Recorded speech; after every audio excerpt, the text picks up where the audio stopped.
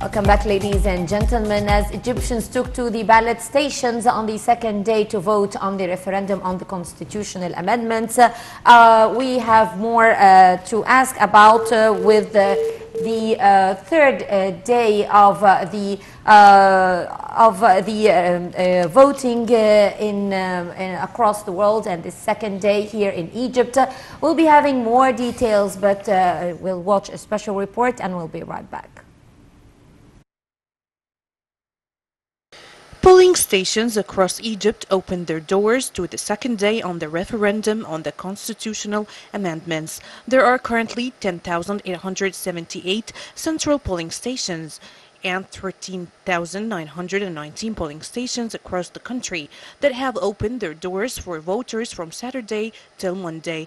More than 61 million Egyptians are eligible to vote in the referendum. Earlier on Saturday, President Abdel Fattah el-Sisi cast his vote in Martyr Mustafa Yusri Amiriya School in Heliopolis district in Cairo. According to the National Elections Authority, Egyptians who live in governorates outside the local election constituencies can still vote at special polling station reserved for out-of-governorate voters. Head of the National Elections Authority, Lashin Ibrahim, said that around 20,000 judges will supervise the voting process at ballot boxes and 55 local civil society groups, five foreign Non-governmental organizations and three national councils are monitoring the vote.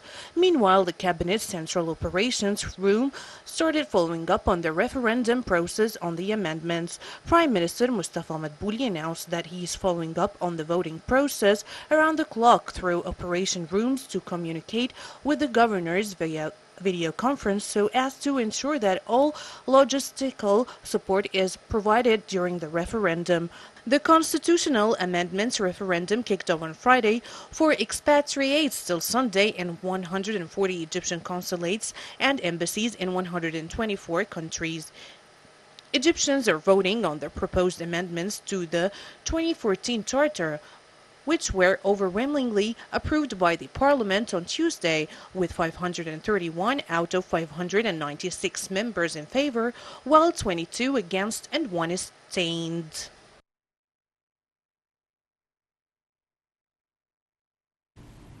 Meanwhile, the military spokesman had confirmed that the plan of the armed forces to secure the referendum on the constitutional amendments had been carried out through a number of security access. Spokesman Tamer Rifai added that the plan aimed at securing 10,878 polling stations across the country in full coordination and cooperation with the Ministry of Interior.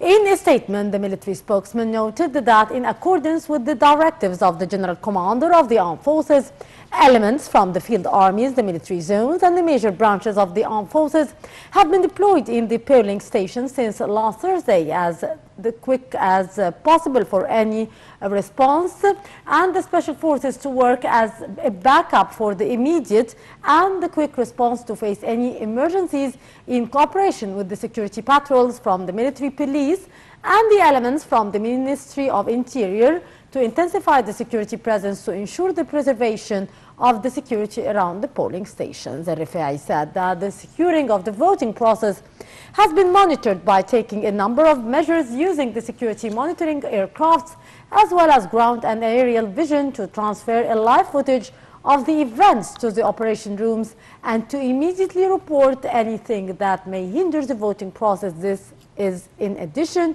to the presence of the operation rooms in all the governorates and the general committees to receive any security complaints.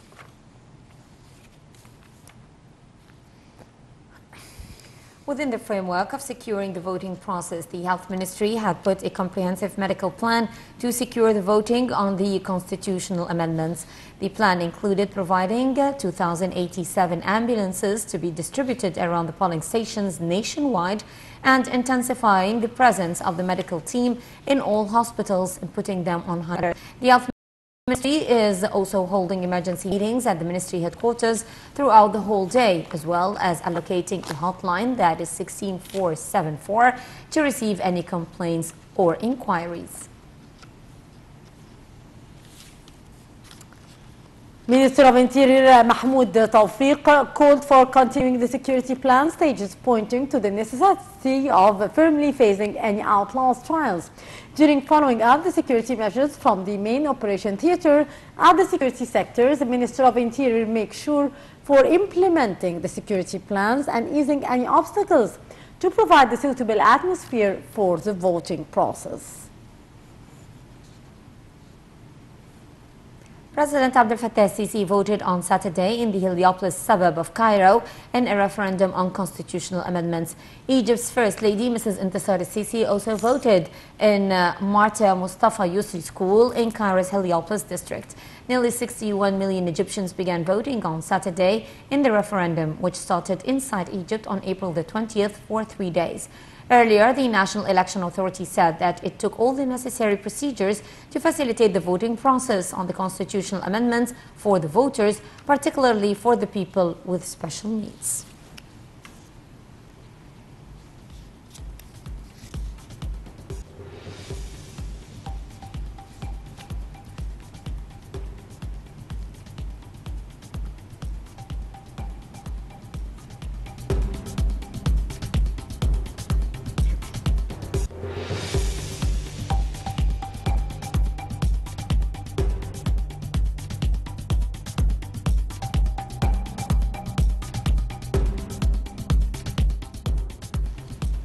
Prime Minister eh, Mustafa Madbouli voted on Saturday in the referendum on the constitutional amendments. After voting, Madbouli gave statements to the encouraging of the Egyptians to participate in the referendum and practice the right to vote on the amendments. Madbouli said that voting will reflect the atmosphere of stability and democracy Egypt is witnessing.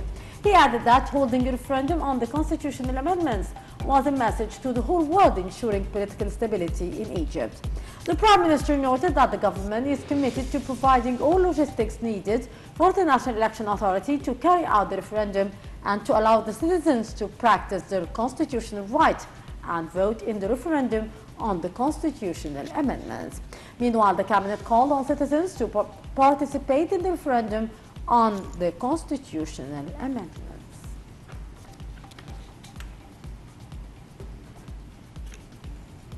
Egyptian expats conclude on Sunday voting in the referendum on the constitutional amendments in the Egyptian embassies and consulates in 124 countries.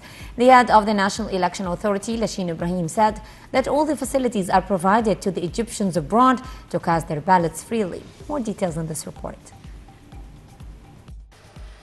Egyptian expatriates conclude on Sunday voting in the referendum on the constitutional amendments in the Egyptian embassies and consulates in 124 countries. The voting runs from 9 a.m. to 9 p.m. according to the local time of each country from April 19th to April 21st. A large number of Egyptians worldwide rallied to cast their ballots, especially in the Arab countries such as Saudi Arabia, the United Arab Emirates, Kuwait, Bahrain, and Morocco. Egyptians in the United States, Canada, Britain, France, Belgium, Italy, and and other Western countries as well as Australia, New Zealand, Romania, Japan, South Korea, China, and Afghanistan also rallied to participate in the referendum on the constitutional amendments. Women, youth, people with special needs, elderly citizens also flocked to the polling stations in the Egyptian diplomatic missions to cast their ballot in the referendum. Head of the National Election Authority, Lashin Ibrahim said that the Immigration Ministry, Foreign Ministry, and the National Election Authority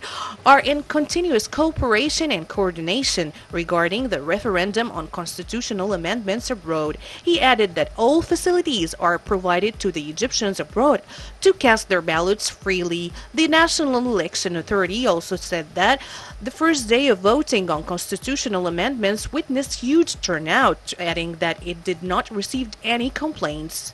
Earlier, Egyptian embassies called on citizens to vote in the referendum on the constitutional amendments, emphasizing that the voters could review information on the constitutional amendments as well as the voting rules through the National Election Authority website. For their part, the Egyptian communities abroad reiterated their keenness to participate in the voting and the referendum on the constitutional amendments.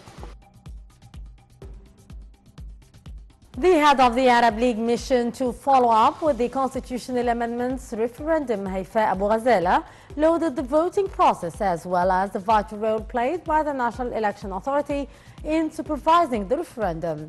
This came during her inspection of a number of polling stations in Cairo's district of Zamalek.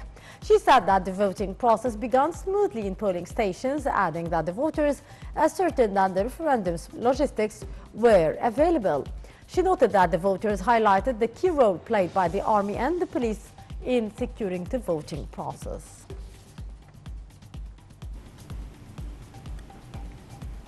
President Abdel Fattah Sisi is to receive Palestinian President Mahmoud Abbas on Sunday. During his stay, Abbas is set to take part in an Arab League meeting of foreign ministers called by Palestine to tackle the recent developments in the occupied territories.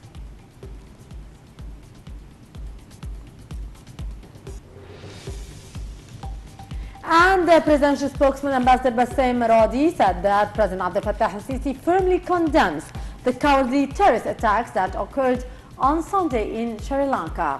He said President Sisi paid condolences to the families of the victims in the attack.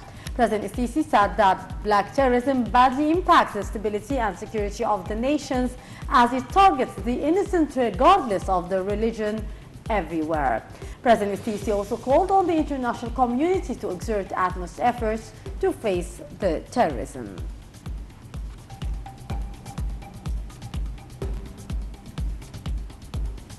Meanwhile, the toll in a series of eight blasts in Sri Lanka on Sunday has risen to at least 207, with over 450 people wounded.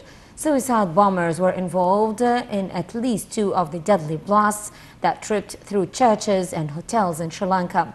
The eighth blast in a house in a northern suburb of the capital, Colombo, was caused by a suicide bomber who detonated his explosives when police entered the residence to search it. The explosion brought down the upper level of the house and killed three police officers.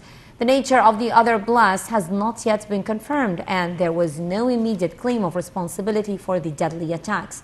The worst act of violence in Sri Lanka since the end of the country's bloody civil war was a decade ago.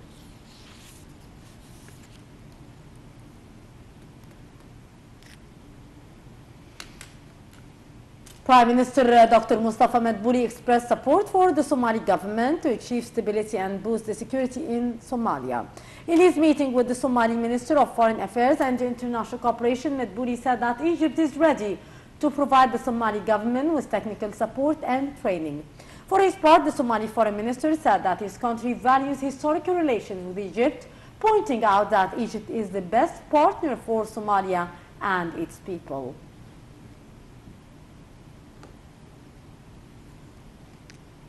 Prime Minister Mustafa Madbouli met the deputy head of the Chinese giant cell phone manufacturer and the regional manager of the company in North Africa. The meeting was attended by Minister of Communications and Information Technology Amr Talat. During the meeting, Madbouli praised cooperation between the Egyptian and Chinese sides. He said that President Sisi is giving great importance to getting close to the Chinese developmental expertise. Madbouli said that it is important for the Chinese company to take advantage of the positive atmosphere of cooperation to place more investments in Egypt, especially in the field of smart villages technologies and other fields. For his part, the Chinese official said that his company is interested in the Egyptian market, saying that it is flexible in addressing the needs of the market and contributing with all the possible ways to development uh, to develop uh, many fields in Egypt. Minister Amr Talat said that the Egyptian side is keen on cooperating with the Chinese company in the field of technology transfer and artificial intelligence as well as the G5 communication technology. He said the Chinese company will implement the first experiment of such technology in the Cairo Stadium during the upcoming African Cup of Nations.